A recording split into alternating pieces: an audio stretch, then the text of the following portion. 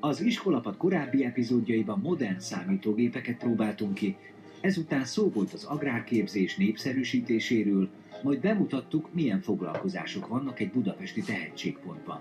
Most nézzük meg, hogyan működik az Európai Önkéntes Szolgálat.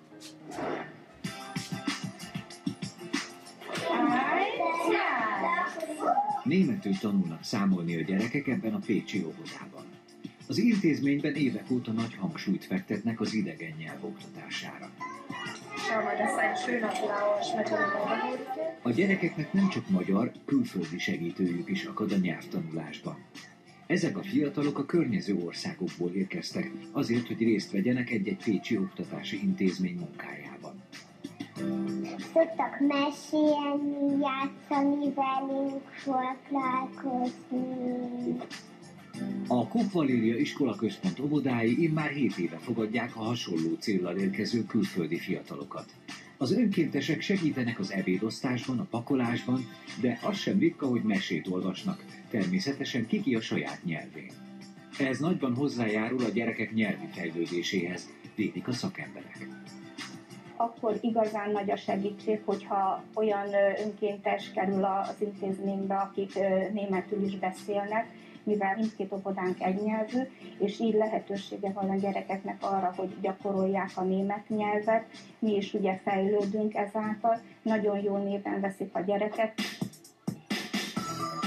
Jelenleg 17 fiatal önkénteskedik 10 hónapon keresztül a város négy óvodájában. Érkeztek Németországból, Ausztriából, Spanyolországból, de még Olaszországból is. Mint mondják, nem csak a gyerekek, ők is folyamatosan tanulnak. Számomra nagyon sokat jelent mindez, hiszen miközben nap mint nap az óvisokkal vagyok, én is rengeteget fejlődök. És megmutatták nekem, hogy az apró dolgoknak és mennyire lehet örülni, mondja ez a német fiatal. Én szeptemberben érkeztem Magyarországra, és úgy érzem, középiskola után szükségem van egy év szünetre, amíg eldöntöm, hogy mivel szeretnék majd foglalkozni. Tette hozzá Jákobó Póher, aki szerint az önkéntesség jó lehetőség, mert miközben gyerekekkel van, ő is folyamatosan tanul. Az Európai Önkéntes Szolgálat az Erasmus Plus program részeként 20 éve működik Európában. Elsősorban fiataloknak nyújt lehetőséget arra, hogy adott ideig külföldön végezhessenek valamilyen önkéntes munkát, melynek időtartama két hónaptól maximum egy évig terjedhet. A jelentkezők részt vehetnek szociális, kulturális, művészeti és környezetvédelmi programokban, de sport és ifjúságügyi területen is lehet segítkezni. Az önkéntesek költségeit az Unió állja, emellett pedig zseppénzt kapnak, ami akár 130 euró is lehet havonta.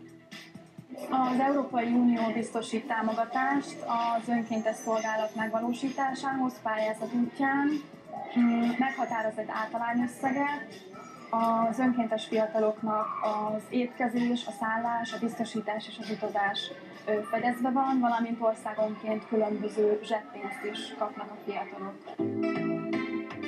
Az Európai Önkéntes Szolgálatra hazánkban minden olyan 17 és 30 év közötti fiatal jelentkezhet, aki rendelkezik magyarországi lakcímmel. Sem diploma, sem nyelvvizsga nem feltétel. A programban azonban csak az úgynevezett küldő szervezeteken keresztül lehet részt venni. Az itt dolgozó szakemberek segítségével választják ki a jelentkezők azt a külföldi fogadóhelyet, ahol önkénteskedni szeretnének. Ugyancsak a programban résztvevő civil szervezetek irányítják a kiutazást, és ők is tartják a kapcsolatot a szolgálat ideje alatt a külföldön lévő önkéntesekkel. 2009-től Pécset ezt a feladatot egyebek mellett a területfejlesztők a Vidékért Egyesület látja el. Az Európai Önkéntes Szolgálat célja, hogy a fiatalokban erősítse a tolerancia és a sokszínűség elfogadását, önállóságra nevel, lehetőséget ad nyelvtanulásra. Ezek a fiatalok úgy gondolom, hogy a későbbiekben sokkal önállóbbak lesznek, sokkal kreatívabbak, és egyszerűen az életben sokkal jobban megállják a helyüket.